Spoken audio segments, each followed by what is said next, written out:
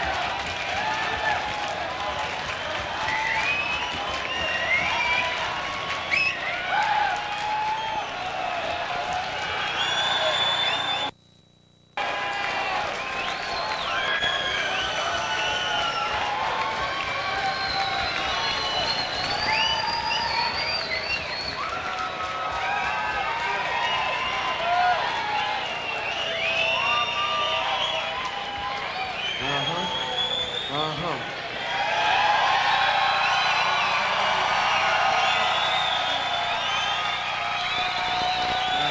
You suck! No, you don't. You do. These motherfuckers are jamming tonight. Yeah? I'm having a good time. Y'all still feel good, right? All right, prove me wrong.